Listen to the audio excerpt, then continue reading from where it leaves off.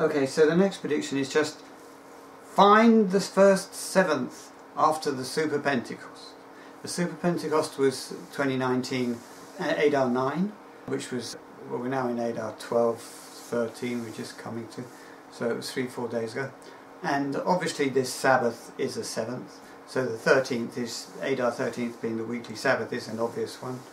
I thought that the 12th might be it because had we been raptured on the 12th, which we haven't yet, but we may yet in US time zone, and who knows what time zone the ark is in. So if we're raptured on Adar the 12th, then the rapture constitutes the seventh day of saintly ark entrance, and therefore it could be the seventh. So what we've done is we've gone for Adar 12, Adar 13, which would be either the seventh day of saintly ark entrance or the seventh day of the week, and it's just the first seventh after the Super Pentecost. And Adar 12, 13 is March 12, 13, 14, which is, well today is actually March the 13th, so 12 has gone. So it's either Friday or Saturday, March the 13th, 14th. So these signs must occur by sunset in the UK and in the US, Saturday, March 14th. Right, let me say a few things now. We predicted that the time of distress would begin Tebeth 21, 2019, and would go to Tebeth 21, 2020, which is the resurrection of the kingdom seized non-Zoarites, the final resurrection of the kingdom citizens who will start the kingdom. And we predicted that prior to Tebeth 21. And on Tebeth 21, what happened was the first US case of coronavirus. We then identified coronavirus as the deadly plague of Revelation 6.8, and it's really looking like that is correct. There's no question we are now in the time of distress because everybody's distressed about coronavirus because basically the Korean government and the Chinese government have done a fantastic job. They know how to handle it. The Italian government has done the worst possible job. So is the Iranian government and so is the British government doing the worst possible job. The way to handle an enemy is you have to first identify him. If you don't identify him, you cannot fight him. The way you identify coronavirus is you test people, which is what the Chinese and the Koreans did. What happens in this country is if you think you've got coronavirus, they tell you go home and self-isolate. In other words, go screw yourself.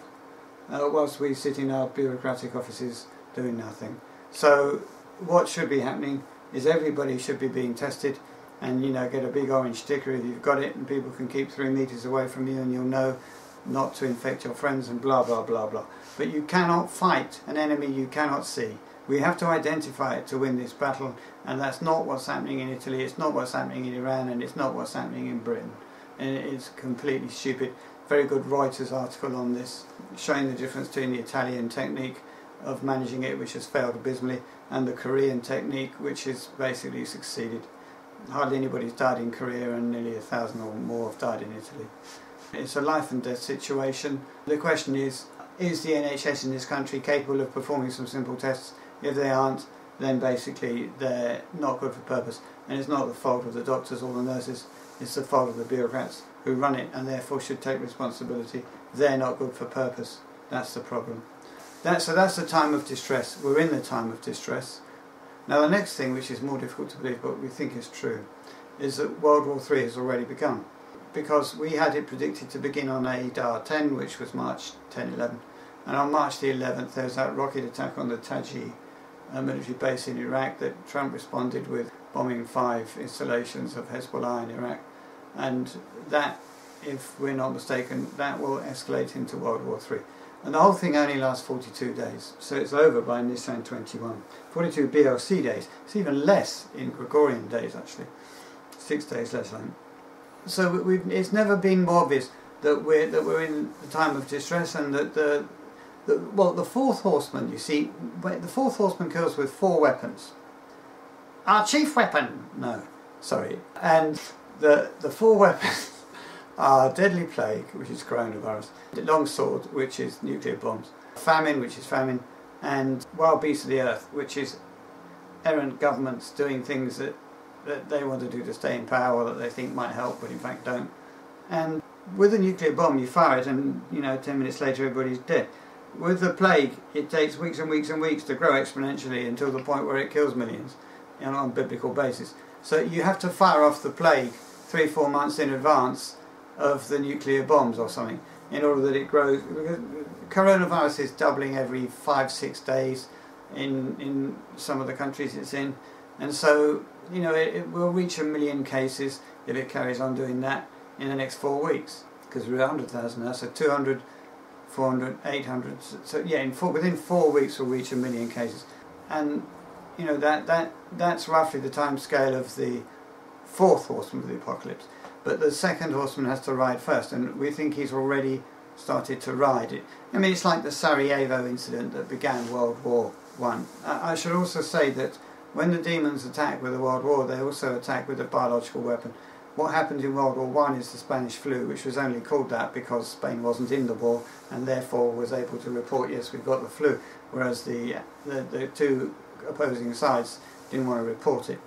Uh, which is one reason why it killed so many people because it was it wasn't identified and wasn't reported. And we've learned nothing from that, and we're not properly identifying this one or reporting the numbers correctly. It, it, it's unbelievably ne negligent of the NHS, which, as I say, is not fit for purpose, and, and the government doesn't seem to be able to take them to task at all. It's run by self-serving bureaucrats, not by doctors, and it's a disaster. And it will kill hundreds of thousands of people, whilst we pay them to be bureaucrats and not test anybody for. it. So that, that's where we are. We think that the World War III has begun. Certainly, the time of justice. Also, the heating up of the fiery furnace of Daniel 3 for seven times. That began with the Taal volcano eruption on uh, January the 12th, 1 p.m., which was Tebeth 11. And you count seven times after that, it's Ab 11. That's when the lava flood begins and lasts for 40 plus 40 days to Tishri 30, the last day of the Jubilee month, the Third Kingdom Jubilee, are released from Adam in the sense that the flood kills Adam and doesn't touch Abraham. We're, presently in a thing called the Day of Jehovah of Isaiah 13, of Joel 2, kind of Acts 2, of Malachi uh, 4 or 5, and a few other places. And it's an amazing day. It's the day when Jehovah puts a shield round Abraham.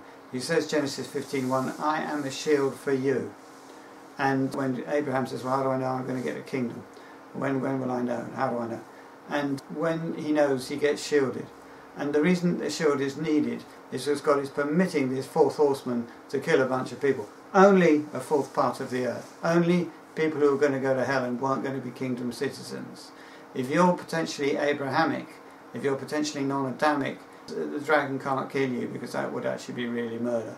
If you're under a death sentence already, God can permit Satan uh, or the dragon, it's actually Satan too, or the dragon to kill you.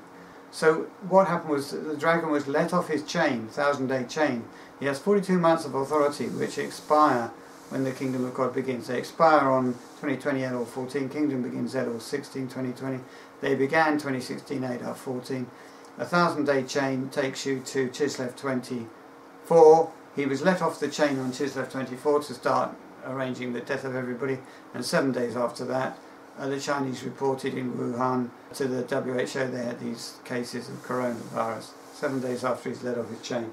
But two days before he's let off his chain on Chislev 22 was the beginning of the Day of Jehovah when the shield was put in place. So what I'm saying is if you have faith, you will not be killed by coronavirus.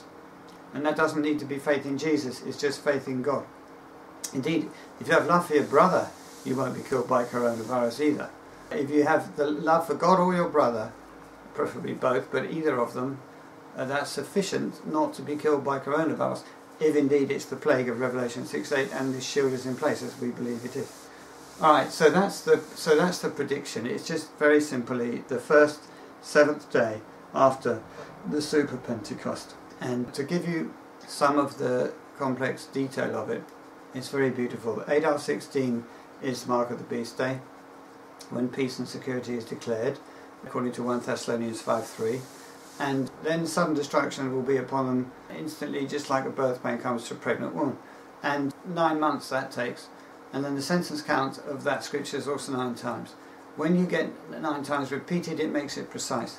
So precisely nine months after peace and security is declared on Adar 16, you get the birth and that's Chislev 16, 2020. And that's the resurrection of the last Zoarites. Not the kingdom sees non-Zoarites, the last ones who actually made it into Zoar. Then, if you count from the end of World War III, which is Nisan 21, which is another declaration of more peace and security. You count nine months after that, you get to 2020 Tebet, 21, the end of the time of distress, the resurrection of the non-Zoarites who were kingdom seized, who had the love of Abraham, actually. And also, the other beautiful thing is the nine happinesses of, of Jesus in the Sermon on the Mount. The scripture, this, this is a real, really good lesson in how the Bible is written.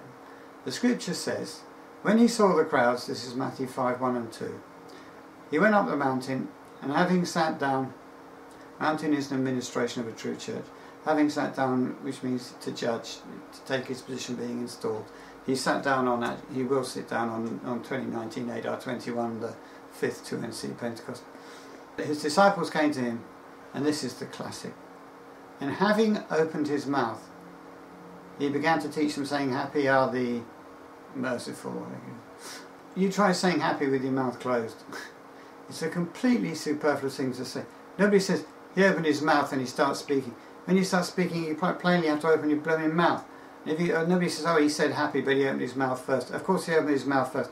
When you have a, super, a superfluous scripture in the literal meaning, it has huge, great depth and meaning in the symbolic meaning. And this is what it means. What is Jesus' mouth? It's his spokesperson. What's his spokesperson? His priesthood. As you open the priesthood, you baptize them. So the end of the water baptism, to be a priest, is when he opens his mouth. And that is Nisan 21, nine months precisely of nine happinesses before the final. Blessed are those who mourn, happy are they who mourn, for they will be comforted. How do you comfort a mourner? By resurrecting the guy he's mourning over, or she's mourning over.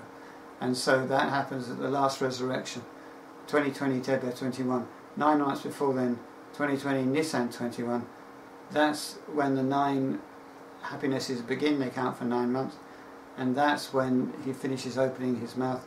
That's the end of the baptism. But then we know there's a 40 day deluge of this water baptism into Zoar from Genesis 7, verse 17.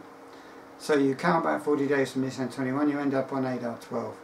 That's why we think that the fast signs are Adar 12, although we haven't had a deluge into this church on Adar 12 yet, and we're now Adar 13. But we've still got the American time zone, so we see. Alright, that'll do. Thanks very much.